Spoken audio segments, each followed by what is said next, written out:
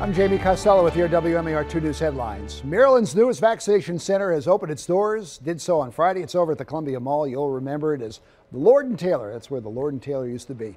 The site held its soft opening with a lot of people coming and going, getting their shots. The county's health officer says that the site will only use Pfizer doses, which is the only vaccine approved for 16 and 17 year olds.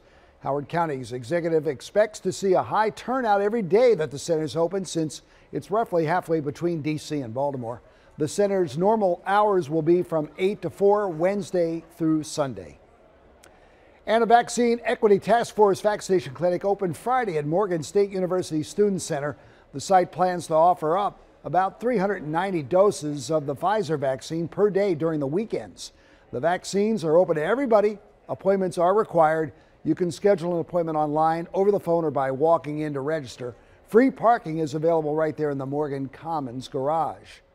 And unemployment insurance claimants can now get their benefits through direct deposit. All you have to do is log onto your Beacon 2.0 portal or mobile app and select how you'd like to get paid. The state just began a new contract with Wells Fargo, moving on from Bank of America's debit cards. Claimants can expect emails throughout the transition reminding them of deadlines and actions that they need to take, in addition to seeing a pop up each time they log into their portal.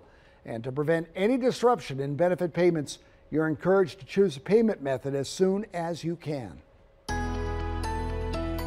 High pressure bringing sunshine for the weekend. Heading into the day tomorrow will be a little chilly. We're talking upper 40s, but we get milder as we head into the afternoon, and we're talking seasonal temperatures, not the 80s and flirting with 90 like before. Getting into the upper 60s, near 70 degrees across most of the state. The warmer numbers, though, they make a swift return by Sunday. Temps warming into the lower 80s. Looking at a slight chance of a sprinkle on Monday, better chance of showers for Tuesday into Wednesday. Temperatures falling behind that cold front down to 67 by Friday. All right. Thank you, Patrick. Click with us online at WMAR2News.com all day for updates on top stories and breaking news. Also, for news and weather while you're on the go, you can download the WMAR2 News app in the App Store. Thanks for watching.